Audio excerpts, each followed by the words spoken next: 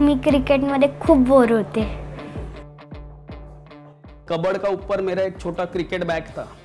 Bag साफ़ करते करते हमेशा मुझे बड़बड़ करती थी. क्या सिर्फ़ बोलते मैं ऐसा खेलता था मैं वैसा खेलता था. अभी तो ये उधर पूरा धूल खा रहा है तुम्हारा किट. मुझे क्रिकेट बिल्कुल भी पसंद नहीं है. मुझे क्रिकेट का कुछ भी नॉलेज नहीं है ना कुछ समझता है. मुझे मराठी थिएटर में इंटरेस्ट है और मुझे वही अच्छा लगता है। मेरा मुँह मत खुला हो अभी, कोई बेसिक से नहीं खेलता है मेरे को बोलता है बेसिक से याद रखो। वेल प्लेड रे बग्गू जितना खेला उतना ठीक है, चल।